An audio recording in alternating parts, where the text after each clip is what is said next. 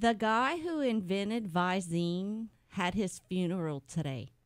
There wasn't a dry eye Oh, in the no. house. I knew you were gonna. I knew it. I knew